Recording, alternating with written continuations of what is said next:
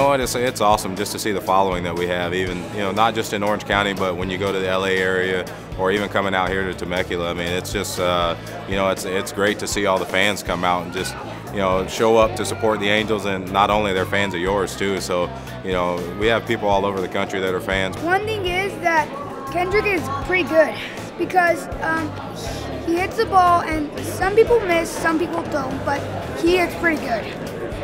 Yeah. To have a, a coming out like this and have people show up, you know, just to come for me to sign for them at your casino is awesome.